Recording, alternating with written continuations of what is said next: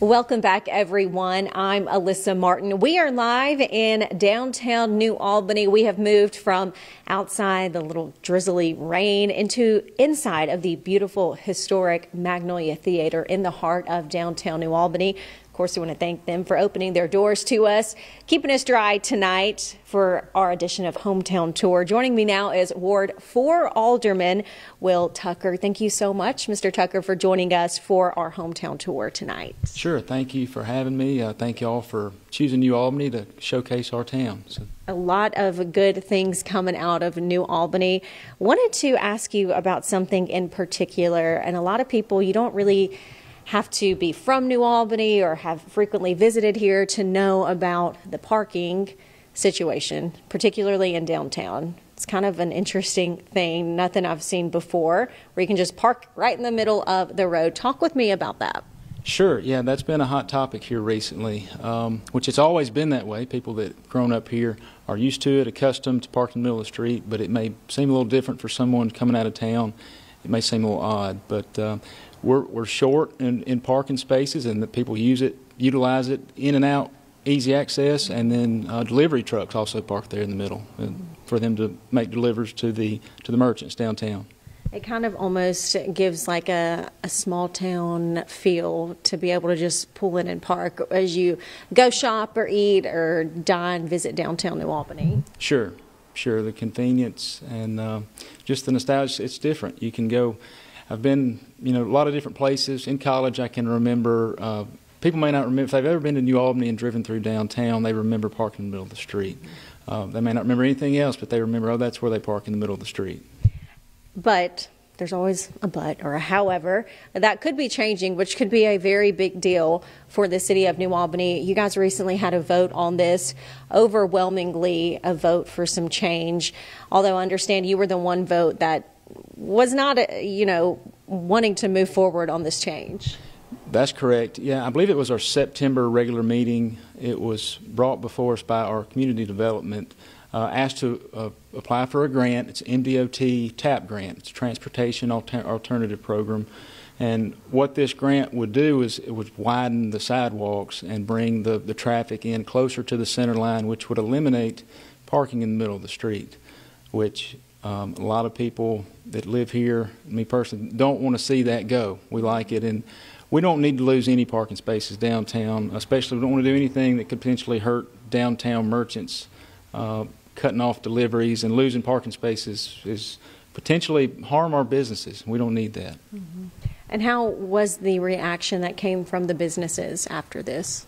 Yeah, the following board meeting, which was our October meeting, almost all of the downtown merchants came to the board and um, expressed their view that they weren't weren't happy with the decision and don't want to see it go.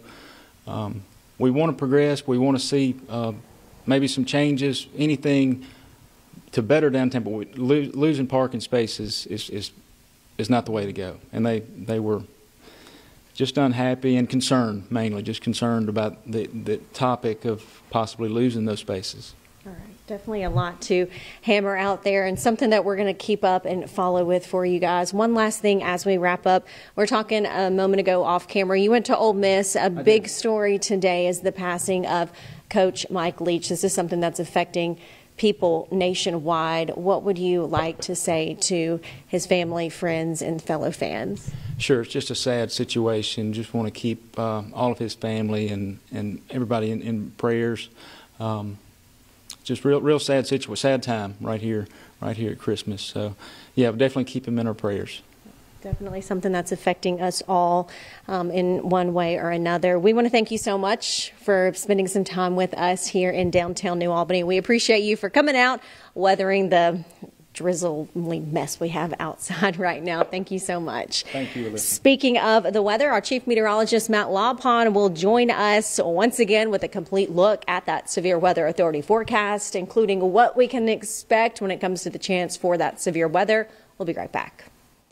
Welcome back. We are continuing on with tonight's edition of our hometown tour. We are live here in downtown New Albany at the beautiful Magnolia Theater. This is such an amazing venue. We're going to go into some of the things they are doing a little bit later on in the broadcast. Right now, though, I want to introduce our next guest It is State Representative Mr. Sam Creekmore. Mr. Creekmore, thank you so much for being here this evening, weathering the nasty rain and joining us tonight. Well, we can blame the rain on Matt. So. yeah, I mean Matt's here, so That's right, you know that's he'll, right. he'll take the blame for that. I'm Thank sure. you for having me, Elisa. Yes. So just to start out, talk a little bit about well, you were telling me off camera um, some pretty cool information about y'all's schools. I mean, that's really something to be excited about and brag. Not just city schools, we're talking county as well when it comes to them being top rated. That's that's correct, and and really, a, a community is only as good as its public school system, and, and we put a lot of emphasis on that here in Union County and New Albany.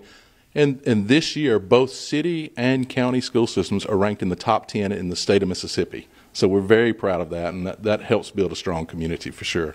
And that is something that's a huge attraction for people who are looking for somewhere to locate. Of course, they always want their children to be in a strong, solid school district. No doubt about it. And, and along with that, we're, we're building a new career and tech center too, and that's where both city and county work come together uh, to do this, and that's going to be new. It's a twenty million dollar project, and the state's helped out too on some, but it's it's going to be a big deal, especially for workforce development going forward.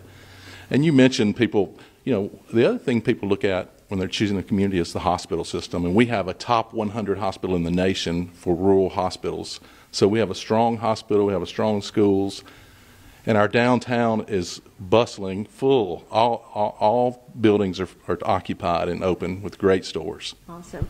Just very quickly, if you could recommend something to do for people who are coming to New Albany and looking for something fun to get into, what would you say to them? Well, we just about have everything for you. We got the Tanglefoot Trail. We have a great park system, and they're just about all connected. We're working toward that. Uh, bikes are a big deal. Restaurants are great, um, and so you, you can just about from frisbee golf to to this theater, uh, a lot of cultural things, and a state of the art Union County Heritage Museum. It is, and not only that, can you visit the museum, but you can actually spend the night at the Faulkner Inn next door. Very cool. So a lot of neat things to do here. Thank you so much for spending some time with us. We appreciate your time and sharing a little bit about New Albany Thank with you. us.